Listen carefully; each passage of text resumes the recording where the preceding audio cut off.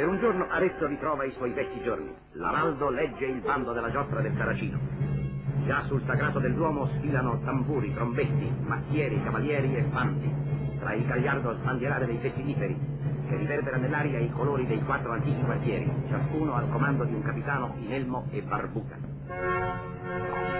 Corsa si svolge in Piazza Grande ed ha l'animoso, sincero impeto del secolo in cui nacque, il tredicesimo, età dei comuni.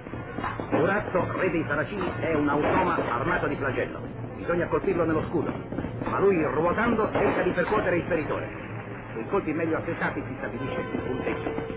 Non occorrono tabelle, bastano gli evviva dei quartieri vincenti. Quest'anno Porta Crocifera e Porta del Foro.